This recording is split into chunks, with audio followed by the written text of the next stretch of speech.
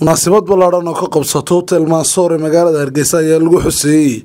Kowda disembar oo danweynuhu u aqoonsaday maalinta h v idska munaasabadan ballaadhan ayaa waxaa ka soo qaybgalay wasiirka wasaaradda caafimaadka xasan ismaaciil yuusuf maxamed habiib agaasimaha daaweynta iyo daryeelka dadka la nool xanuunka ee kumishanka xakameynta idhiska maxamed maxamuud xaashi gudoomiyaha qareenada somalilan cabdicasiis cisaalax gudoomiyaha ururka dhallinyarada somalilan esoyo maxamed bakaal gudoomiyaha ururka bisacas naasir baajeex agaasimaha fulinta ee kumishanka xakameynta idhiska iyo weliba martishaarfaadu ballaadhan ugu horeynba waxaa halkaasi ka hadlay wasiirka wasaaradda horumarinta caafimaadka ee somalilan xasan ismaaciil yuusuf oo halkaasi ka jeediyey kalimaad kala duwan oo ku saabsan qiimaha ay leedahay maalintani. Talabaad waxaa weeye waxaa muhiim ah si xanuunka loo takooro oo axle loo xakameeyo oo gaar ahaan siyaabaha aynu inaga lafteennu u xakamaynay dhowr iyo tobankii sannadood u dambeeyey inay tahay in la isbaadho inuu qofku ogaado xaaladdiisa uu ku nool yahay inuu h i v la nool yahay oo ay jidhkiisa ku jirto iyo in kale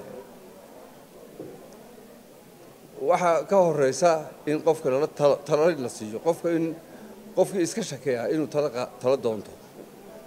Lix goobooda waaweyn baa waddankeena ay taladana lagu bixiyaa xanuunkana lagu baadhaa waxaa muhiim ah qofka xanuunka laga helo ama la nool inuu markiiba uu talo siiyo ama uu isku dayo inuu qofka kale ee uu la nool yahay ama xaaskiisa ha noqoto ama saygeeda ha noqoto hadday gabar tahay.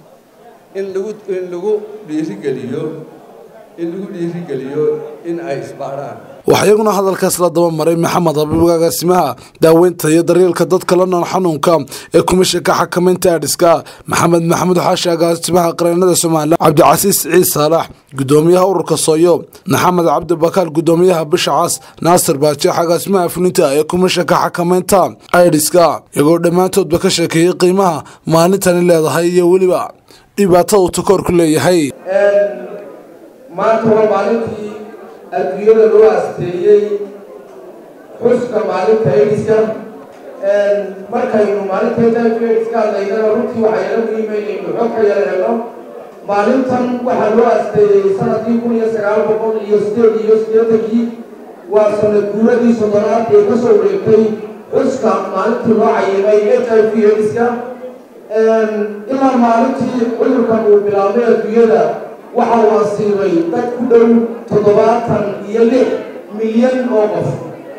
Waxa uu ka takhallusay kalabar dadkii uu haleelay xanuunkaasi adduunyada.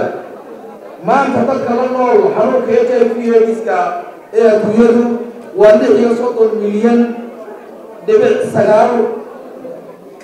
Boqolkiiba shan iyo labaatan ka mida dadkaasina ma oga xaaladooda caafimaad. Halkudhigga sanadkan adduunyadu ay qaadatay waa halkudhigga halkaa ku qoran waa ogow xaaladaada caafimaad. Afka qalaadna waxay ku tahay know your status. Xaaladaada ogow. Sidii ay riwaayaddii halka ka socotay sheegaysay isbaat maaha waa qabtaa laakiin waxay mar kasta idhaahdaan maama caafimaadii? Ka hortagga ayaa ka fiican daaweynta.